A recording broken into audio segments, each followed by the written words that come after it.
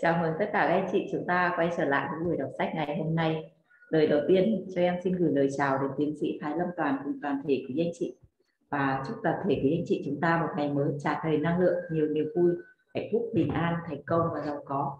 Và hàng sáng chúng ta cùng nhau hội tụ về phòng Zoom để cùng nhau chiêm nghiệm những cuốn sách trong nước và ngoài nước và cùng nhau chia sẻ những bài học giá trị trên con đường hành trình mình đi và những bài học thành công sẽ cho chúng ta những sự thăng hoa, những câu chuyện thất bại thì sẽ cho tất cả phòng dung của chúng ta có những những bài học và rút ngắn được cái thời gian của mình trong sự nghiệp của mình đến với sự thành công nhanh hơn và dễ dàng hơn.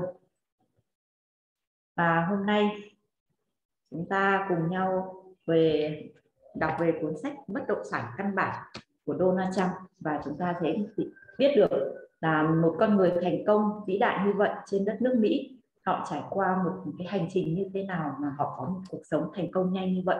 Thì chúng ta đã trải qua hai chương và cũng như qua hai buổi đọc sách thì chúng ta đã biết về những cái tố chất con người trong à, Donald Trump và cũng như lý do tại sao ông trở thành một con người thành công nhanh nhất. Bởi vì ông đã học tập và ông chuẩn bị cho một cái sự nghiệp của mình rất là nhiều năm trước đây. Và trong cái sự nghiệp đó thì luôn luôn phải có những cái sự nó làm kiên trì và sự quyết tâm để ông thực hiện cái mục tiêu của mình. Thì hôm nay em sẽ đọc cái chương 3 đó là làm thế nào để trở thành một nhà đầu tư bất động sản. Và chúng ta cũng như nghe đọc sách, nhưng mà chúng ta, đây là ông sẽ chọn một ngành nghề kinh doanh cho mình là trong lĩnh vực bất động sản. Còn các anh chị chúng ta, mỗi người sẽ có một ngành nghề khác nhau, nhưng chúng ta sẽ rút ra được những cái tư duy của một con người thành công và cũng như một con người vĩ đại họ ừ, dành thời gian với một cái sự nghiệp đó là sự nghiệp về bất động sản thì chúng ta về bất động sản nó về cái uh, giá trị vật chất của nó là cao. Và cũng như thể là cái dòng tiền của nó rất là lớn mà họ dùng những tư duy đó để họ làm việc. Thì bản thân của chúng ta cái sự nghiệp của chúng ta một uh, cái ngành nghề kinh doanh của chúng ta nó sẽ nhỏ hơn. Thì có thể là chúng ta sẽ dùng những cái tư duy của một con người vĩ đại lớn như vậy để chúng ta vận hành với cái sự nghiệp của mình rất là dễ dàng và đơn giản và ông Donald Trump cũng sẽ có khuyên chúng ta là chúng ta làm bất kỳ ngành nghề gì cũng vậy thì có thể dùng những cái tư duy của người làm kinh doanh bất động sản để chúng ta vận hành, chúng ta sẽ thành công nhanh hơn và dễ dàng hơn. Và em xin phép được bắt đầu. Làm thế nào để trở thành nhà đầu tư bất động sản? Lời khuyên của Donald Trump cho các doanh nhân khi tôi bắt đầu làm việc với Donald Trump, tôi rất vui mừng và biết rằng ông cũng có niềm say mê đọc sách như tôi.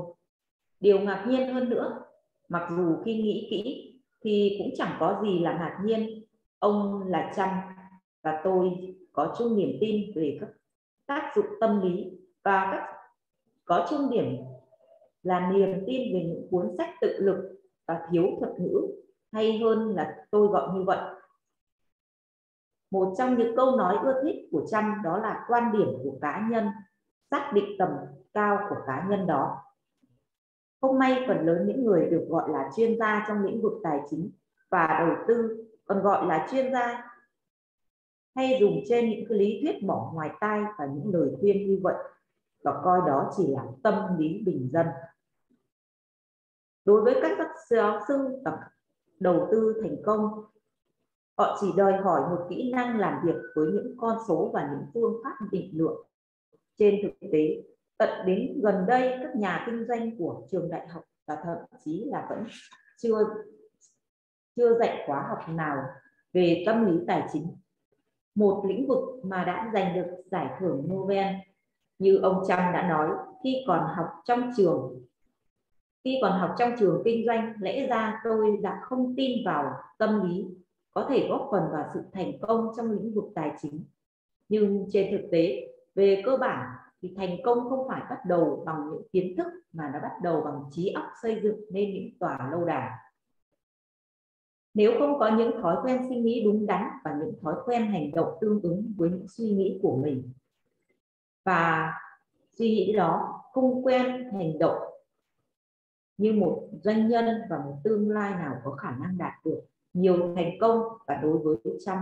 Những đặc điểm dẫn đến sự thành công bao gồm một, suy nghĩ tích cực. Bạn có quyền được lựa chọn, bạn có thể biện minh cho một, để tránh một trách nhiệm nào đó, hoặc bạn có thể thừa nhận một trách nhiệm. Bạn có thể thấy ai đó phản đối chỉ trích bạn hoặc quan tâm bạn, chỉ có những người nào tin vào những gì mà họ có thể làm được chứ không phải là tin vào những gì bạn không thể làm được. Thái độ chấp cánh cho những mong muốn và những mục tiêu của bạn. Hai, đừng làm việc đó chỉ vì tiền. Chọn cho bạn những mục tiêu để bạn theo đuổi và theo đuổi chúng bằng một niềm say mê và một lòng nhiệt tình. Chăm nói, bạn sẽ gặp phải những lúc khó khăn. Niềm say mê và lòng nhiệt tình nó sẽ tiếp sức và giữ động lực cho bạn cũng như chính niềm say mê và lòng nhiệt tình cùng với những ý thức hoàn thành công việc. Nó sẽ giúp cho bạn bằng mọi cách vượt qua những bức tường thành mà, thế mà bạn cũng sẽ đạt được trên con đường sự nghiệp. Với lòng nhiệt tình, khó khăn cũng sẽ chỉ vào những thách thức chứ không phải là lý do để bạn từ bỏ. Ba, đặt ra các tiêu chuẩn. Ông Trump có nói, hãy tự hỏi bản thân mình xem bạn muốn nổi tiếng về tiêu chuẩn gì? Những tiêu chuẩn nào vượt quá yêu cầu của khách hàng? Cha tôi đặt ra những tiêu chuẩn cao cho những ngôi nhà và những căn hộ bình dân của ông khi tôi xây dựng tòa tháp chăn hay còn gọi là chăm tower? Thì tòa tháp này nhìn ra quang cảnh thật là tuyệt vời và nó trở thành một tòa nhà mang dấu ấn của sự sáng tạo. Giống như cha tôi tôi lập ra mục tiêu của mình rồi vượt lên trên những mục mục tiêu này về mọi phương diện. Và ngày nay, ông Trump vẫn đặt ra các mục tiêu tiêu chuẩn cao hơn và mới. Ông chỉ là những tòa nhà lộng lẫy mà còn có cả các sân gôn của ông, một tạp chí gôn hàng đầu. Viết về ông Trump, chỉ hài lòng với những gì là tuyệt hảo. Nếu ông đặt tên mình lên một nơi nào đó, thì nơi đó trở thành nổi tiếng. Và hai tuyệt tác của ông là sân gôn đầu tiên của Chăm đó là Chăm International ở Ma Mar-a-Lago của Nam Florida và Chăm Natison của Washington, New York tạo ra những cực kỳ tuyệt vời và những sân gôn này đã giành ra nhiều giải thưởng và thay đổi quan điểm của mọi người không ủng hộ chúng. Và ông đã thành công trong khai hy vọng của mình và một ngày nào đó ông mang giải Mỹ mở rộng về cho thi đấu tại sân gôn mới của mình ở Westminster. Sân gôn này được xây dựng trên vùng đất trước đây của tư bản ô tô John Lawson và được bày đơn giản và ba nguyên tắc này của Trump sẽ được hướng dẫn bạn tới một con đường kinh doanh. Một là phát triển nuôi dưỡng những thói quen tích cực trong trí óc. Hai, hưởng thụ tiền bạc nhưng tự thúc đẩy bản thân mình bằng một niềm say mê và một lòng nhiệt tình. Ba, đặt ra những tiêu chuẩn mực và để làm hài lòng chính bạn và các khách hàng của bạn và buộc người khác phải nói theo. tôi không còn đủ trẻ nữa để tự tin là cái gì mình cũng biết luôn đặt câu hỏi đó là một quan điểm của ông Trump và lịch sử đã chứng minh rằng các nhà đầu tư bất động sản và thừa kế từ của cha mẹ của mình ở mức độ trung bình cũng đã kiếm được rất là nhiều lợi nhuận từ những mức là làm cho những nhà quản lý, các quỹ đầu tư ủy thác từ nổi tiếng thèm thuồng và ven tị hơn 30% lợi nhuận. Mà tôi kiếm được từ những tòa nhà chung cư đầu tiên của tôi không thể hiện bất kỳ không thể hiện bất cứ những điều gì khác thường hẳn bạn còn nhớ tôi đang ở phần kế trên, đó là món lợi nhuận. Đó, tôi đã đạt được. Do bất động sản tăng giá được tạo nên một giá trị. Và trên thực tế, trong suốt những năm khởi nghiệp, đầu tư của tôi, hầu như tôi viết sạch những lợi nhuận từ bất động sản của mình để hỗ trợ cho bản thân trong suốt những năm học tập và cao học.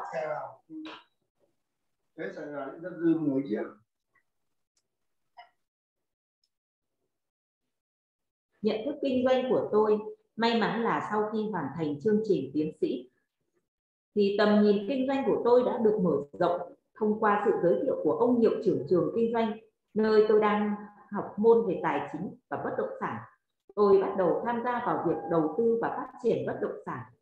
Ngoài ra, tôi vớ được một món hời như tư vấn vụ chuyển nhượng bất động sản cho Romiken là một trong 400 tỷ phú do tạp chí Forbes bình chọn. Những nhà kinh nghiệm này đã được mở rộng tầm nhìn và tầm mắt của tôi, mặc dù các vụ đầu tư bất động sản của ông đã mang lại lợi nhuận cao và trong sớm nhận ra rằng kinh doanh trong bất động sản là một một cách có phương pháp và có thể mang lại một lãi cổ phần cao hơn bất kỳ một loại hình đầu tư nào trước đây tôi đã từng nghĩ đến. Một phần của Jack là người sáng lập ra Peter Valentison. Tôi bảo tôi, bạn có thể kiếm tiền bằng một con đường đầu tư bất động sản, nhưng bạn có thể kiếm nhiều tiền hơn nữa bằng ý tưởng của bạn.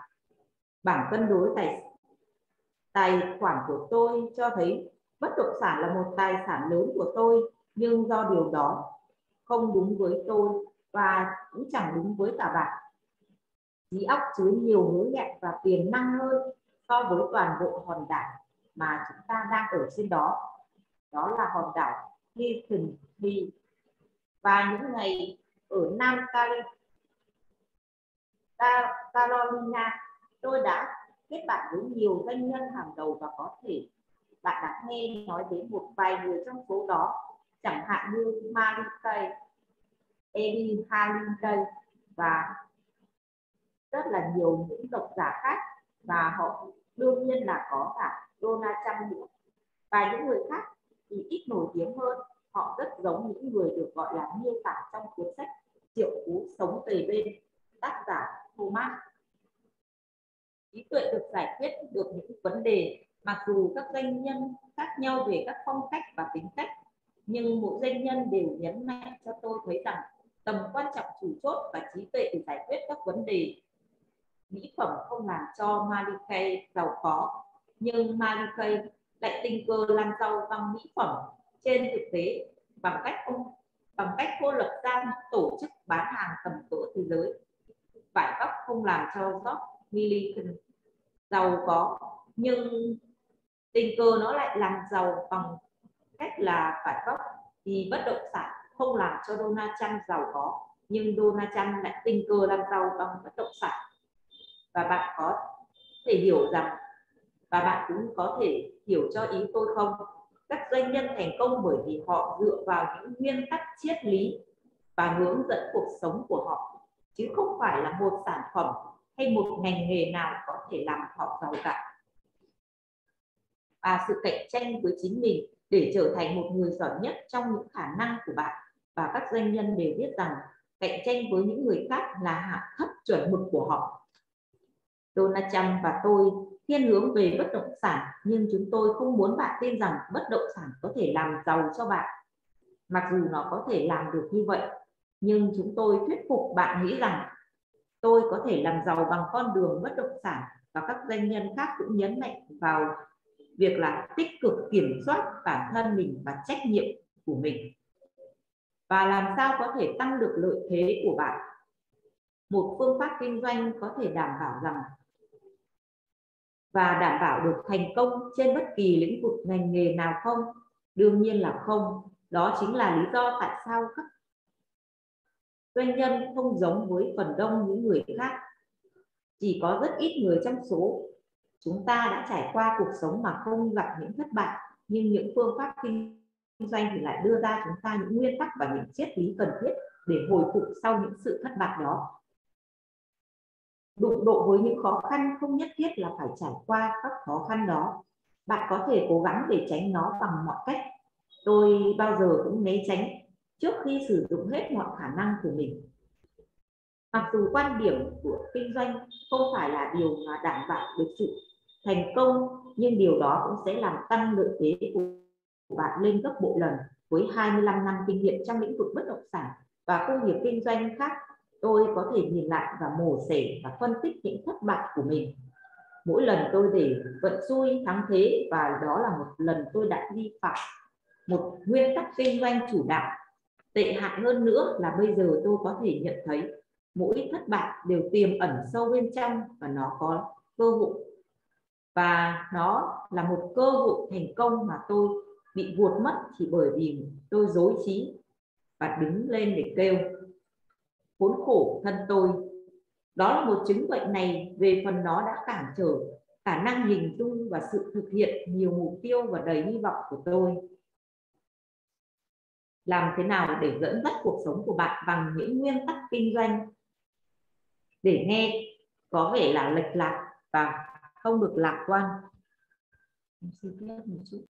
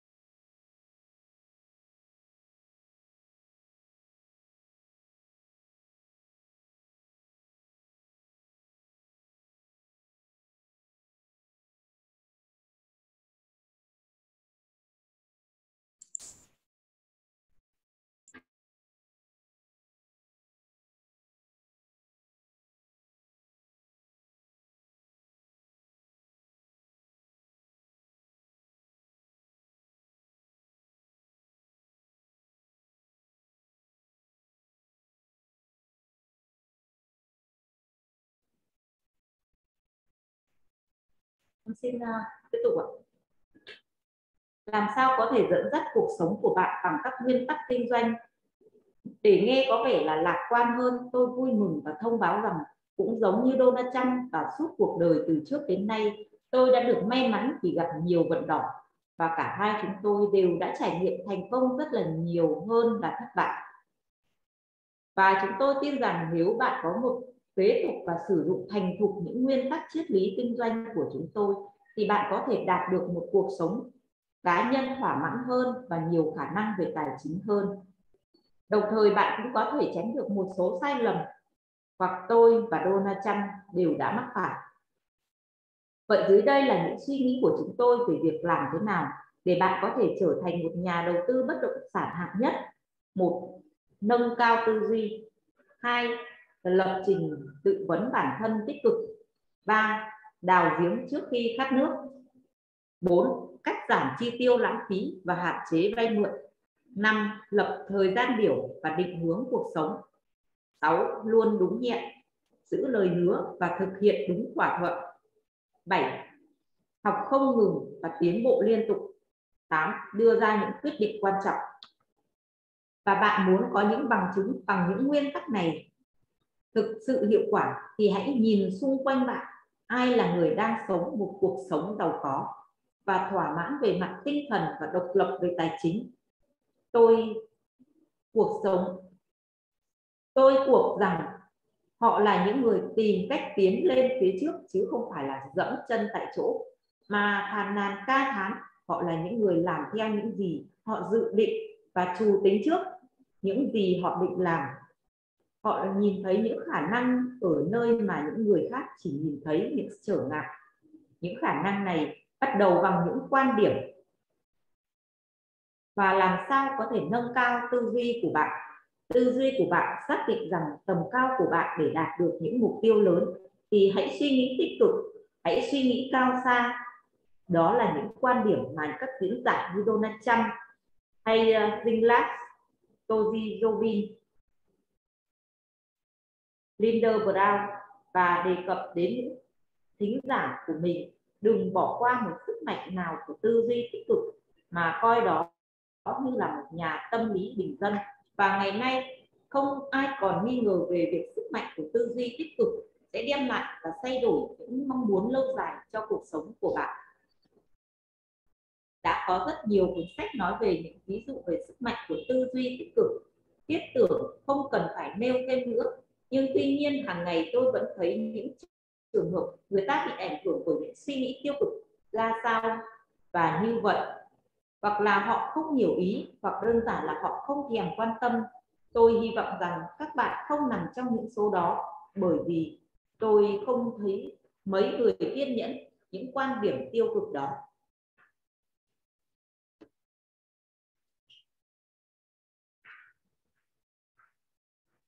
Chuẩn bị ăn vẫn theo với con mình.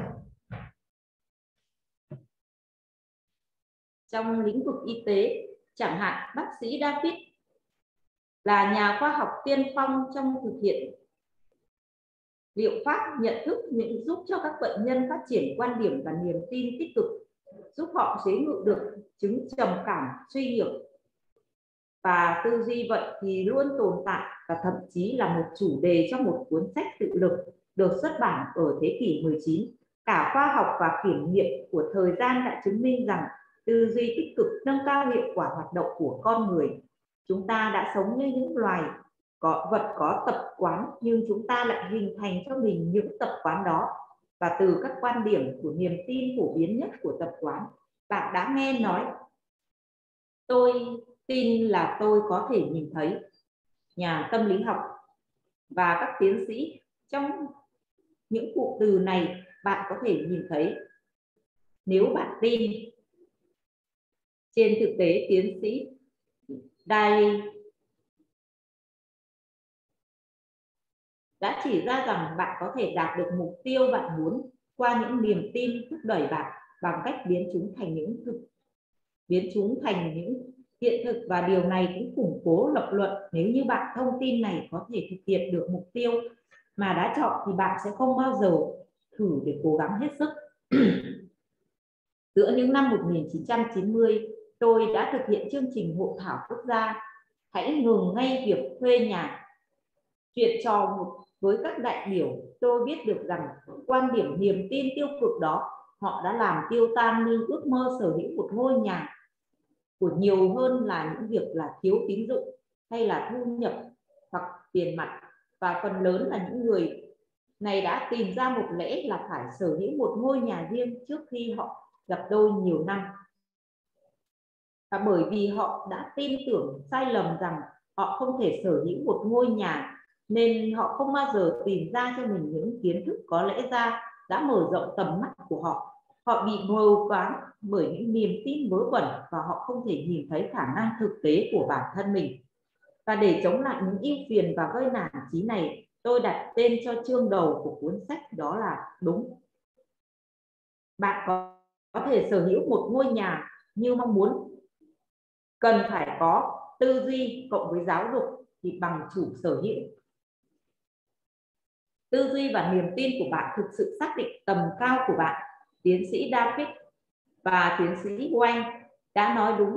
Bạn có thể nhìn thấy nếu như bạn tin tưởng hoặc đặt một mục tiêu cao hơn rồi bằng kiến thức và giáo dục của bạn. Hãy tìm ra cách chiến thắng và những khó khăn và những thách thức.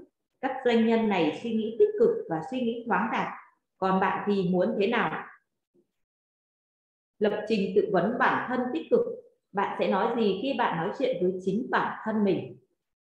Bạn có thường trừng phạt bản thân mình nhưng đồng thời lại chối bỏ trách nhiệm với những hành vi chính của bạn? Bạn có cảm thấy với thân mình bản thân mình nói bất kỳ điều gì tương tự, nhưng những điều này sau đây không? Tôi không thể nhớ nổi những cái tên. Lại một ngày đen đủ điều vô ích. Tôi biết ngay là điều này sẽ không có tác dụng. Tôi chỉ gặp may mà thôi. Tôi bất tài. Tôi không phải là người sáng tạo. Dường như tôi không có đầu óc tổ chức hôm nay không phải là ngày may mắn của tôi. Tôi không bao giờ mua nổi những thứ tôi muốn.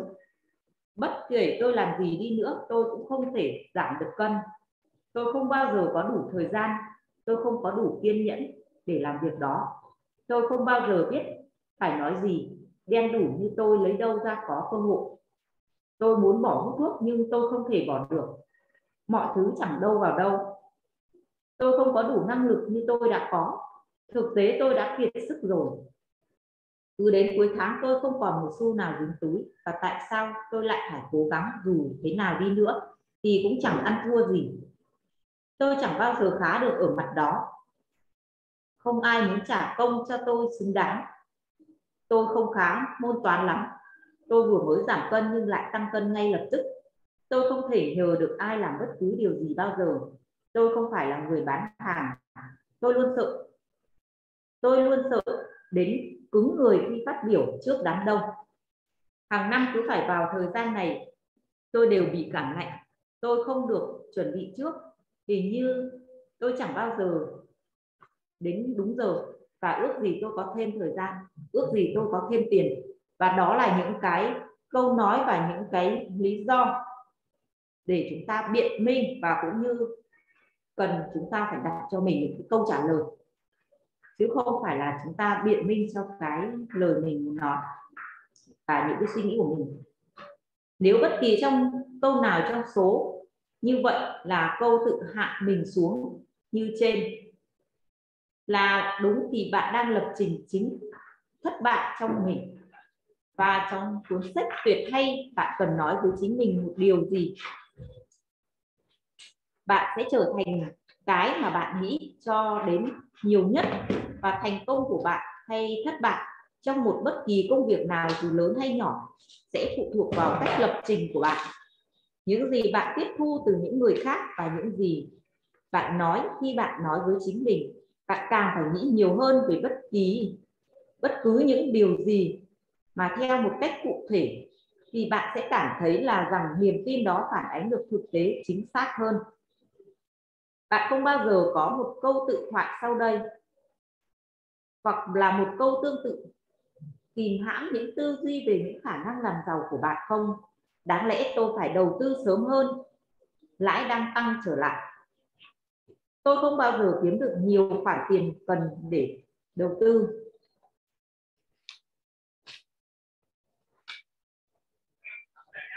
Vâng. Và chúng tôi không có cách nào để cắt giảm chi phí đi nữa. Chúng tôi sắp cạn tiền rồi và bất động sản không còn là một cách đầu tư tốt nữa. Thế giới đang đầy rẫy những người giàu và người nghèo. Tôi là một người nghèo. Với mức giá như vậy thì thuê nhà rẻ hơn là mua. Tôi chẳng thể mua nổi một thứ gì mà tôi thích, bày bán ngoài kia. Mức tín dụng của tôi quá thấp, hóa đơn của tôi quá cao thời gian của chúng tôi khó khăn hơn thời gian của các thế hệ trước. Bạn bè của tôi không ai có tiền để đầu tư. Quá muộn rồi. Người mua trước đã gặp may. Tôi ngại đầu tư. Tôi chẳng biết đầu tư khởi đầu ra sao. Tôi không biết đầu tư môi giới bất động sản và cũng như bất kỳ bất động sản. Đại diện ngân hàng cho vay hay là nhà đầu tư nào cả chắc chắn rằng tôi muốn mua bất động sản lắm chứ, nhưng tôi không có tiền. Chắc chắn rồi, một ngày nào đó tôi sẽ đầu tư. Và danh sách này còn dài hơn nữa, bạn có thể bổ sung thêm vài cách mà viện cớ thoái thác riêng của bạn. Và bạn lâm vào vòng luẩn quẩn trước khi bị đánh bại mình, thật quá dễ dàng. Và những tin tức này nó luôn tiêu cực và nó dẫn đến truyền những thông tin đại chúng ở mức độ nào đó và nó lập trình để bám lấy những ý niệm tiêu cực. Và khi những ý niệm đó à, bắt đầu loại bỏ đi những sự kiện hoặc không tin tích cực thì chỉ có những thứ tiêu cực còn lại. Và khi đấy chỉ nhìn thấy những điều tiêu cực thì chúng ta sẽ bắt đầu bám lấy những ý niệm tiêu cực đó và chặt chẽ hơn bao giờ hết. Cuối cùng chỉ ta nhìn thấy những gì mà ta đã tin. Tự vấn tiêu cực cản trở đã làm cho những vấn đề tích cực người nào đã rơi vào vòng luẩn quẩn và đánh bại như vậy sẽ không thấy được những khả năng của mình bởi vì chính họ đã loại bỏ những sự việc mà không phù hợp với niềm tin vô hạn. Và còn tệ hơn nữa là họ chối bỏ những khoản tiếp thu những khả năng để phá vỡ vòng luẩn quẩn và buộc bản thân mình phải ghi nhớ những những suy nghĩ và những ý niệm tiêu cực đó để mà làm bạn tách rời ra khỏi tương lai của bạn muốn. Và nối những cực điển tưởng tượng vào trí óc, rồi giật mình nảy lên mỗi lần để suy nghĩ những cái tiêu cực chập chờn trong những khả năng giải quyết của bạn. Bất kỳ khi nào bạn suy nghĩ nó nảy sinh đến và vớ lấy một cái điều khiển từ xa của bạn, chuyển sang chương trình khác, mỗi câu nói đó.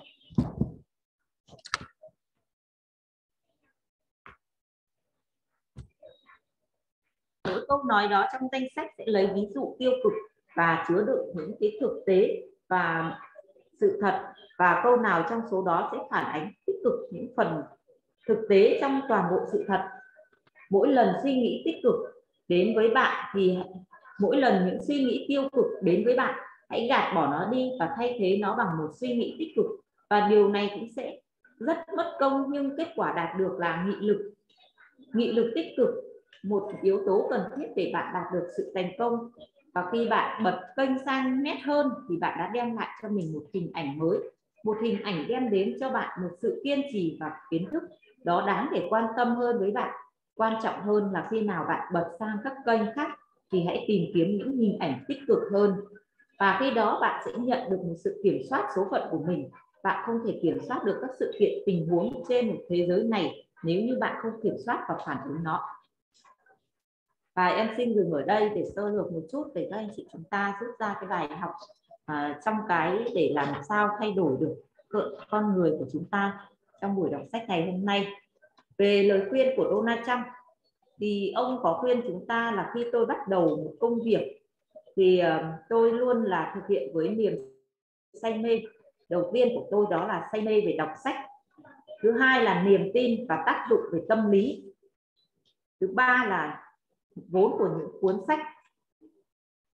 Và quan điểm của một câu nói mà ông Donald Trump luôn ưa thích, đó là quan điểm của cá nhân, xác định tầm cao của cá nhân đó.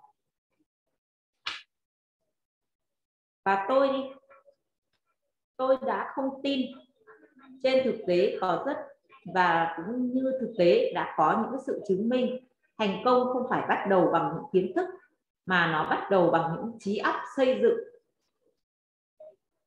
và cũng như nếu như không có những cái thói quen suy nghĩ đúng đắn, thì và những cái thói quen hành động tương ứng với những suy nghĩ đó, thì không bao giờ một doanh nhân có thể đạt được những thành công. Và đối với ông Donald Trump cũng vậy. Thì ông thường có một cái suy nghĩ, đó là suy nghĩ tích cực. Bạn có thể quyền lựa chọn cho mình hoặc là biện minh trách nhiệm của bạn để thừa nhận trách nhiệm đó. Thứ hai đó là và cũng như thể là những cái thái độ nó sẽ chấp cánh cho những mong muốn và những mục tiêu của bạn. Thứ hai đó là làm việc đó chỉ vì tiền. Làm việc đó chỉ vì tiền. Khi bạn chọn cho mình một mục tiêu rồi, thì cần phải thay đổi thay đổi và theo đuổi nó bằng một niềm say mê và một lòng nhiệt tình. Và bạn sẽ gặp phải những lúc khó khăn.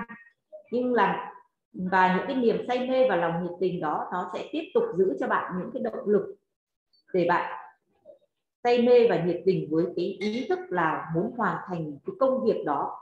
Nó sẽ giúp bạn vượt qua những bức tường thành cao mà bạn gặp trên con đường sự nghiệp của mình. Và những khó khăn chỉ là những thử thách, chứ không phải là lý do để bạn từ bỏ một sự nghiệp. Và ba, đó là đặt ra các tiêu chuẩn hãy tự hỏi bản thân mình muốn được những gì và tiêu chuẩn gì. Tiêu chuẩn nào vượt quá yêu cầu của khách hàng của mình? Và ông Donald Trump cũng vậy. Ông đặt ra một cái tiêu chuẩn của ông ấy là ông có một tòa tháp trăm thì hay là một tòa tháp trăm còn gọi là trăm tower? Thì chúng ta thấy là bây giờ hiện trên đất nước Mỹ thì tòa tháp trăm nó cũng vẫn là lớn nhất và cũng như nổi tiếng nhất trên đất nước Mỹ và tôi đã lập ra một tiêu chuẩn, rồi tôi vượt lên trên những tiêu chuẩn này về mọi phương diện. Và các tiêu chuẩn luôn là cao hơn và mới.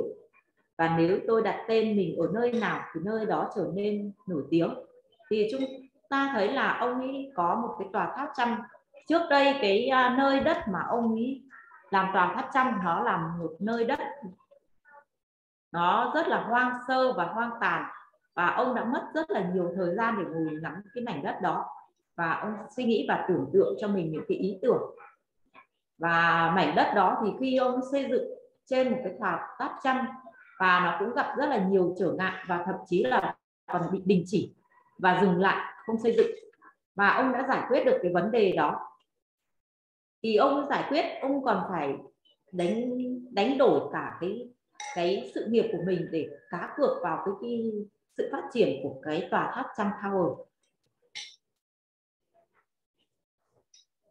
Và cũng như ông muốn, và để làm sao có thể thay đổi được quan điểm của những người không ủng hộ mình, đó là cái lúc ông phải đánh đổi cái um, cái quan điểm của mình để thực hiện, để xây dựng được cái tòa tháp trăm và tại sao ông nói đến là mục tiêu thì luôn phải cao hơn và phát triển mới? Đó là ông làm một tòa tháp trăm đầu tiên, và sau đó là ông làm hai cái sân gôn là những cái dự án thứ hai của nổi tiếng. Thì trong đó để mà đưa đến sự thành công của trong lĩnh vực kinh doanh, thì ông có đưa ra cho chúng ta có ba phương thức. Đó là một là phát triển và nuôi dưỡng những thói quen tích cực trong trí óc. Thứ hai đó là phải hưởng thụ tiền bạc, nhưng tương tự cần phải thúc đẩy bản thân bằng niềm say mê và lòng nhiệt tình. Thứ ba là đặt ra những tiêu chuẩn chuẩn mực và làm hài lòng chính bạn và các khách hàng và buộc người khác cũng phải theo. Và ông có một câu nói, ông nói, tôi không còn đủ trẻ nữa để tự tin là cái gì mình cũng biết. Và ông đã đặt ra những câu hỏi đó đó là lý do ông học tập liên tục và ông sẵn sàng học tập. Và ông có chính vì vậy mà trong suốt quá trình, những năm khởi nghiệp về đầu tư, tôi hầu hết như viết sạch những cái lợi nhuận của mình từ bất động sản để hỗ trợ cho bản thân mình. Trong suốt những năm học, và nhận thức về kinh doanh của tôi, thì khi hoàn thành các chương trình về tầm nhìn kinh doanh của tôi đã được mở rộng hơn và ông bắt đầu tham gia vào việc đầu tư phát triển bất động sản và cũng như những cái kinh nghiệm đã mang lại cho ông rất là nhiều những lợi nhuận cao. Và ông nhận ra là kinh doanh bất động sản có phương pháp sẽ mang lại những lãi cổ phần cao. Và bạn cũng có thể kiếm tiền bằng cách là đầu tư bất động sản hoặc là một ngành nghề kinh doanh nào khác mà có thể kiếm được nhiều tiền hơn thế nữa bằng những ý tưởng của bạn và làm sao để giải quyết những cái vấn đề trong trí tuệ của chúng ta? Thì về, mặc dù thì các doanh nhân thì đều khác nhau, nhưng về phong cách và tính cách thì tầm quan trọng chủ chốt đều là trí tuệ giải quyết các vấn đề, là chúng ta cần phải suy nghĩ thì mới giải quyết được các vấn đề. Và ông có lấy ví dụ ra là về một người làm về mỹ phẩm thì cũng không giàu có từ mỹ phẩm nhưng họ lập ra các tổ chức bán hàng mỹ phẩm thì lại là một người tầm cỡ thế giới. Thì họ lại rất là thành công. Và cũng như trong lĩnh vực bất động sản cũng vậy, không làm cho ông Donald Trump giàu, nhưng mà ông ấy lại làm giàu bằng bất động sản. Qua cách ừ, suy nghĩ của mình cũng như là cái trí tuệ của ông giải quyết các vấn đề. Và ông luôn, và các doanh nhân thường thành công bởi họ dựa vào các nguyên tắc triết lý, chứ không phải là một sản phẩm, một ngành nghề cụ thể nào cả, mà là họ làm giàu. Và sự cạnh tranh chính mình để trở thành người giỏi nhất, nó là khả năng của bạn. Và các doanh nhân đều biết rằng sự cạnh tranh với người khác là tự hạ thấp bản thân của họ. Và đó là lý do chúng tôi thuyết phục bạn nghĩ rằng, tôi có thể làm giàu bằng con đường bất động sản hoặc là một ngành nghề nào khác và họ cũng nhấn mạnh rằng vào việc tích cực và kiểm soát bản thân mình và phải có trách nhiệm. Và làm sao để tăng để cái lợi thế của bạn? Thì về một phương pháp kinh doanh để đảm bảo được đến sự thành công, thì trên bất kỳ lĩnh vực nào, ngành nghề nào, điều đó cần phải có. Đó chính là lý do tại sao các doanh nhân không giống với các phần đông những người khác là chúng ta thấy những con người thành công, họ luôn có một cái, đó là họ luôn khác biệt với rất là nhiều người. Và sự đụng độ với khó khăn không nhất thiết là chúng ta cần phải trải qua nó, mà có thể bạn cố gắng tránh nó bằng mọi cách. Và tôi không bao giờ né tránh những việc sử dụng hết mọi khả năng của mình để né tránh thì chúng ta thấy lý do tại sao em rất mong sự chia sẻ của anh chị ở trong phòng Zoom chia sẻ những câu chuyện đã thất bại. Thì có phải là chúng ta đã tìm ra một cái cách đó là người đó đã thất bại trong lĩnh vực đó thì bản thân của chúng ta cũng sẽ à, có được những bài học và chúng ta không um, mắc vào những cái lỗi đó tiếp theo.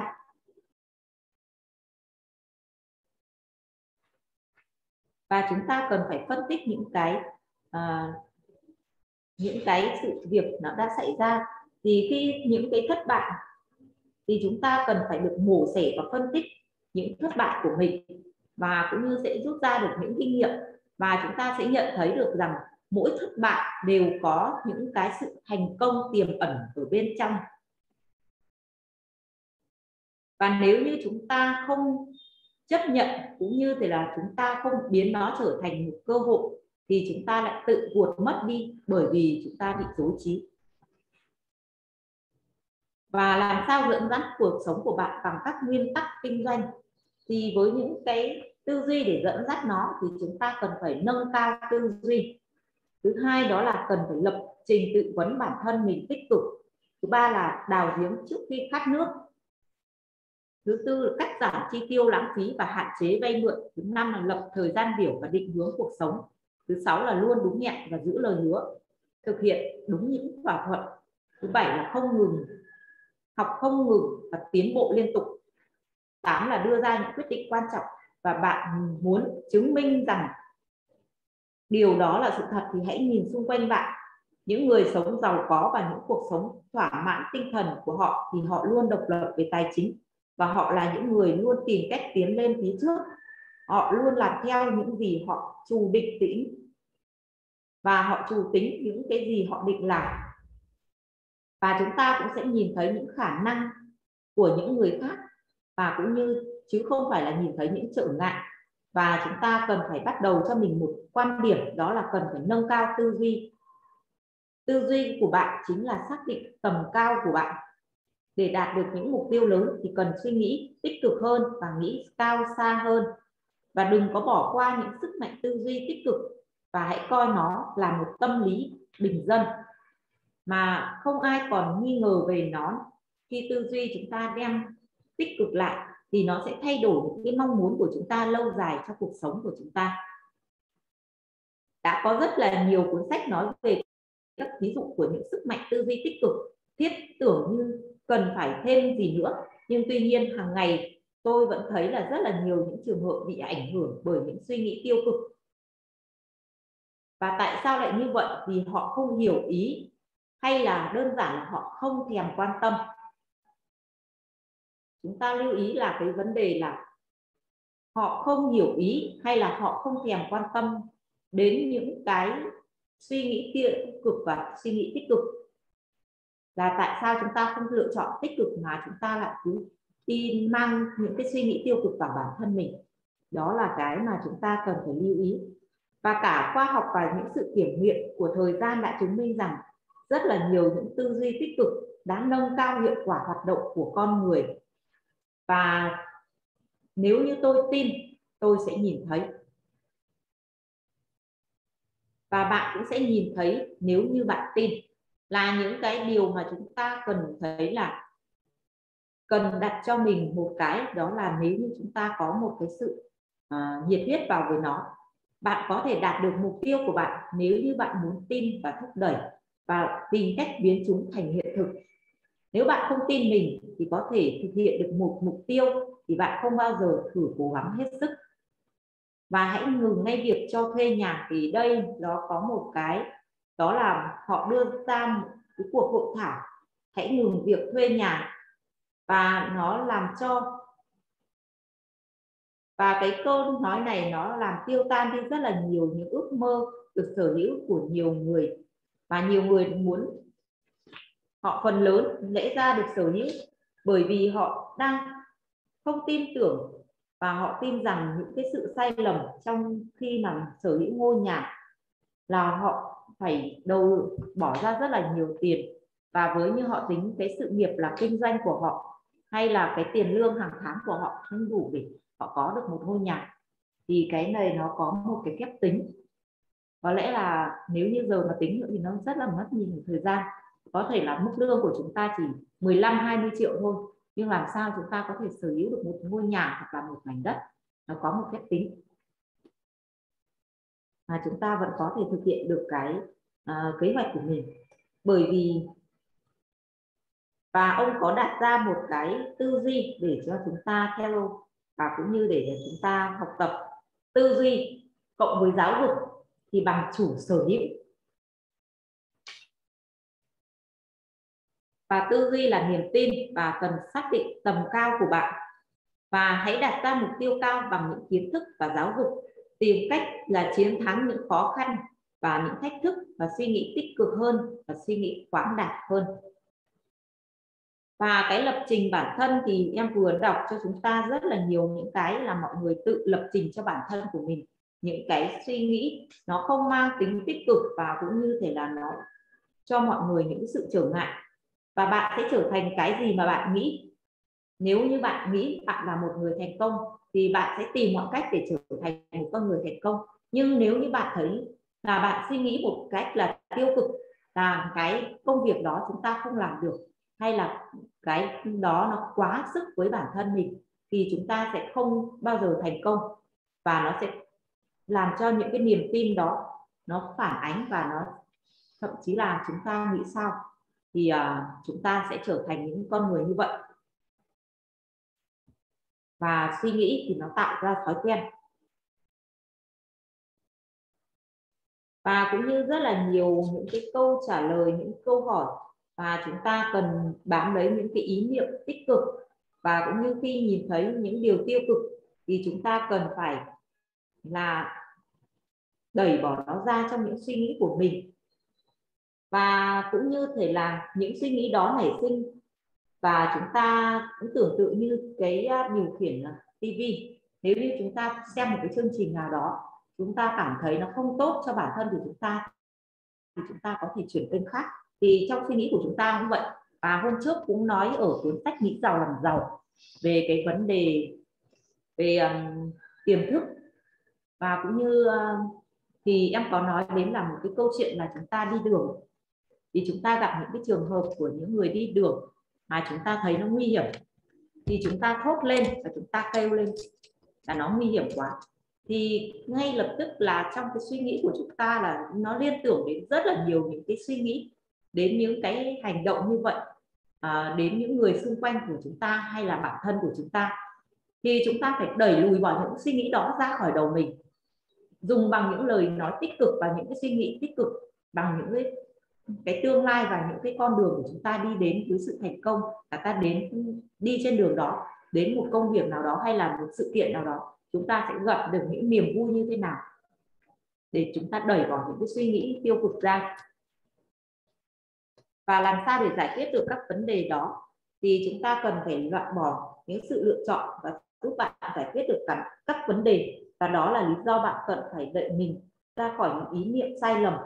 Và đó là để có cho mình những cái tự tự do về tài chính, tự do về tài sản, tự do về con người. Và không biết có những nỗi sợ nào có thể mang đến cho chúng ta. Thì à, em xin dừng ở đây để mời sự chia sẻ của anh chị trong buổi sáng ngày hôm nay. Thì hiện tại là em nhìn thấy anh và Thanh Lâm đang bật cam. Các anh chị khác chúng ta có trong phòng Zoom chúng ta hãy bật cam lên để cùng nhau chia sẻ những cái bài học trên con đường hành trình của mình. Để tất cả phòng Zoom của chúng ta có những bài học kinh nghiệm. Em xin mời anh Đoàn Thanh Lâm.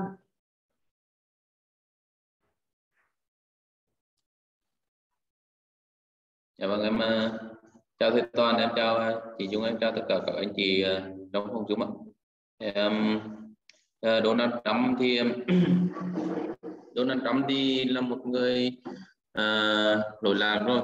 Ông thành công trong cái lĩnh vực uh, uh, bất động sản. Và um, rất nhiều tòa nhà tòa cao ốc thì được ông xây dựng uh, dựa trên cái thành công của bất động sản của ông ạ. Nhưng mà à, quan điểm của cá nhân ông ạ thì người thành công ờ, không hẳn là phải thành công trên cái lĩnh vực bất động sản. Nhiều người có thể thành công trên các lĩnh vực khác. Mỗi người có một quan điểm một kinh um, một cái sở trường riêng thì họ kinh doanh theo cái lĩnh vực cái sở trường của họ.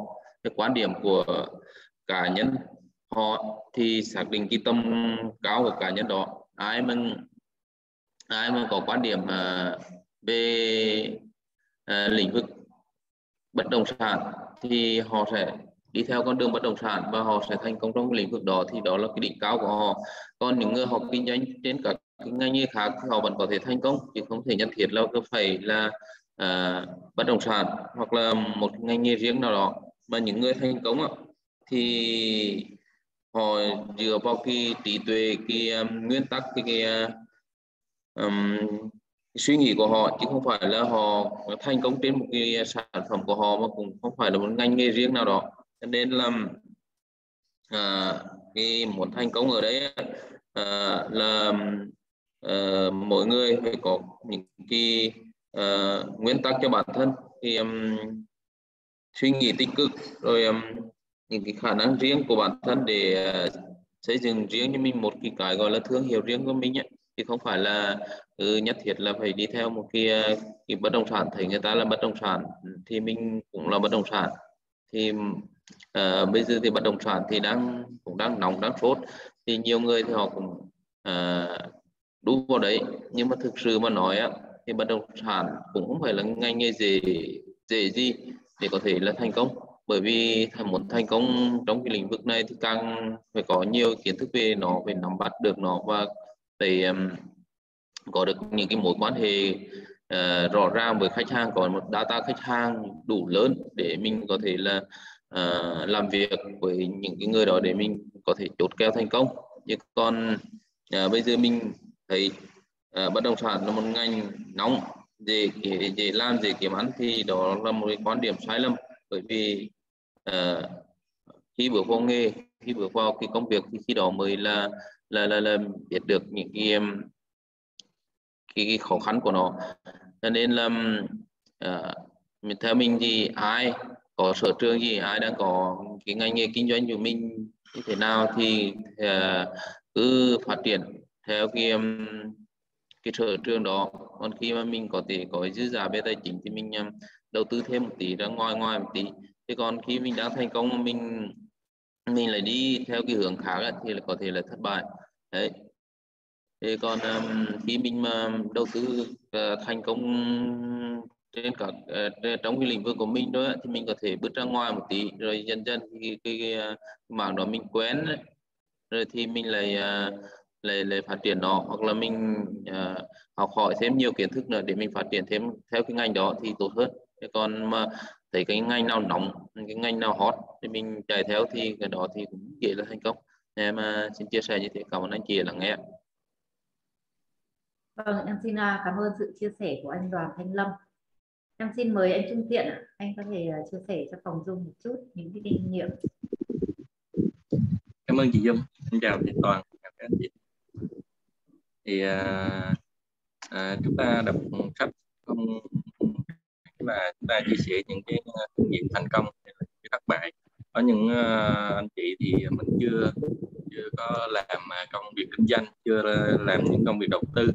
Uh, thì mình uh, đọc sách và mình uh, có thể là chia sẻ để mình uh, lượm lặt những cái ý ý tưởng trong những cuốn sách uh, của thầy Toàn hoặc là những cuốn sách của các uh, mình đọc như là cuốn sách hôm nay. Thì uh, em uh, có nhặt ra ba cái ý mà ông ông, ông có có ghi nguyên tắc mà để ông áp dụng trong cái công việc kinh doanh cũng như là à, công việc à, những cái nguyên tắc đó có thể là áp dụng trong cái cuộc sống hàng ngày. Thứ nhất là mình phải có cái tư duy tích cực và mình à, trong những cái công việc hay là trong cuộc sống mình có suy nghĩ tích cực thì con người mình nó cảm thấy nó thoải mái và vấn đề à, ở đây không nằm ở vấn đề mà là nó nằm ở giải pháp và mình khi khi mà mình có những cái suy nghĩ tích cực thì mình sẽ tìm ra những cái giải pháp hợp lý và mình có cái những cái hướng giải quyết uh, trong cái công việc của mình như là những trong cái cái, cái vấn đề ở cuộc sống của mình nó, nó được ờ, thuận lợi hơn. Thứ hai nữa là mình uh, uh, làm việc không vì tiền mà là mình làm việc vì đam mê. Khi mà mình làm việc vì đam mê thì con người mình nó cảm thấy là uh, mỗi người mỗi mỗi mỗi ngày trôi qua hay là mỗi cái công việc của mình đều có ý nghĩa. Thì mình làm việc vì đam mê thì mình sẽ cảm thấy nó nó hưng phấn trong cái con người mình và mình sẽ đạt được cái hiệu quả cao hơn. Làm việc vì tiền thì mình chỉ chăm chăm vào cái lợi nhuận hay là mình làm vì đồng tiền thì mình cảm thấy nó ít ý nghĩa hơn. Cái ý thứ ba nữa là đặt ra những cái tiêu chuẩn và vượt lên trên những cái tiêu chuẩn uh, của mình đặt ra. Ông Donald Trump cũng vậy thì ông đặt ra những tiêu chuẩn và uh, khi mà tên tuổi của ông gắn với những công trình nào thì những công trình đó sẽ người ta sẽ cảm thấy là có giá trị. Và cái tên tuổi những cái công trình uh, không phải là à, cái cái cái giá trị ở nằm ở công trình mà giá trị nằm ở bản thân cái, à, cái tên tuổi của ông Donald Trump. Và cái tiêu cái tên của ông cũng đại diện cho một cái, cái đại diện cho những cái tiêu chuẩn mà ông ông, ông định ra cho những cái công trình. Và uh, uh, ông luôn làm làm vượt trên những cái tiêu chuẩn mà ông định ra để những cái giá trị của mình nó, nó vượt lên trên hết. Và đó là những cái ý mà mà học được từ buổi đọc sách của chị Dung ngày hôm nay. Em xin cảm ơn các anh chị đã lắng nghe vâng em xin à, cảm ơn sự chia sẻ của anh Trung Tiện. Thì anh Trung Tiện còn nói là làm việc không vì tiền mà vì đam mê. Thì uh, nói chung là về cái vấn đề ngay cả ta buổi sáng dậy đọc sách ấy, thì em cũng đâu có đọc sách. Em và anh tiến sĩ Thái Lâm Toàn cũng đâu có phải là chia sẻ phòng dung này vì tiền. Đó là vì sự đam mê. Và nếu như các anh chị không tham gia phòng dung đọc sách thì bản thân em Dung vẫn đọc sách. Em vẫn đọc sách hàng ngày. Nhưng mà em đọc với một cái là em đây không đọc là cần số lượng và cũng không cần đọc nhanh. Đọc sách có rất là nhiều những cái kinh nghiệm và đọc nhanh và đọc hiểu. Nhưng em chọn là em đọc hiểu thì em không cần đọc nhanh. Và cái đam mê của mình là đọc sách, nên là em có rất là nhiều những cuốn sách. Đủ thứ trên đời luôn. và em à, vừa có thấy anh Tony Hoàng, anh Hoàng có thể chia sẻ một chút không? Chắc là anh Hoàng lại bận rồi, có lẽ là sau khi à, anh à, tiến sĩ Thái Lâm Toàn chia sẻ thì sẽ mời anh Hoàng chia sẻ sau ạ. Thì em xin mời sự chia sẻ của tiến sĩ Thái Lâm Toàn trong buổi đọc sách ngày hôm nay. Và đặc biệt là nói về lĩnh vực bất động sản thì anh lại có rất rất là nhiều những kinh nghiệm trên thương trường thì anh có thể chia sẻ cho mọi người một chút những cái bài học. Em xin mời anh. Vâng xin cảm ơn các bạn. Các bạn có khỏe không? Thế là chúng ta lại gặp nhau đó đúng không ạ? Và quyển sách ngày hôm nay chúng ta đọc đó chính là sách về bất động sản căn bản của Donald Trump. Thì chúng ta biết rồi, Donald Trump là một à, tỷ phú rất là thành công và đặc biệt là ông thành công à, rất lớn là khi ông tranh cử tổng thống Mỹ, đúng không ạ? Thì cái phong cách ông điều hành cũng khá khác biệt. Thì ngay từ đầu thì à, những cái đảng đối đối lập á thì nghĩ rằng Donald Trump sẽ không biết cách để điều hành. Nhưng thực tế thì ông đã chứng minh được rằng là điều hành doanh nghiệp được thì điều hành đất nước cũng được. Đó đó là cái cái cái cách mà chúng ta nhìn nhận về tác giả và Donald Trump lại có cả một cái trường đại học. À, sử dụng qua trường đại học. Thì chúng ta thấy rằng là à, liên quan tới quyển sách này thì à, có cái lĩnh vực bất động sản thì chúng ta thấy rằng ờ, ngay cả ở những cái miền đất xa xôi ờ, miền đất mà thành công nhất của hành tinh này ờ, nước Mỹ thì chúng ta thấy là đất nước Mỹ cũng có nhiều cái vấn đề chúng ta cần nghiên cứu đúng không ạ? Nhưng mà bất động sản người ta đang thành công. Thì quay lại vấn đề bất động sản ở Việt Nam chúng ta có quá nhiều vấn đề đúng không ạ? À, các bạn cứ hình dung mà xem ngay cả từ đầu tiên nhất bất động sản của Việt Nam thì liên quan đến tính pháp lý đúng không? pháp lý thì chúng ta bằng chứng là chúng ta tối qua tôi có chia sẻ cái chuyên đề là chứng chỉ hành nghề môi giới bất động sản chúng ta thấy ha luật à, rồi nghị định rồi thông tư hàng loạt cái đúng không? Rồi luật đất đai luật nhà ở rồi luật thương mại rồi bộ kế hoạch đầu tư đúng không luật đấu thầu nó dài hàng hàng loạt cái rất là nhiều thứ để chúng ta nghiên cứu ờ, 2013 rồi 2015 rồi thậm chí bây giờ là 2022 là ban ngành nghị định thông tư luật nói chung là tá lả bên hết. Nói chung là vấn đề pháp lý là chúng ta phải nghiên cứu và cập nhật ngay cả những cái luật sư chuyên nghiệp về lĩnh vực bất động sản cũng phải cập nhật.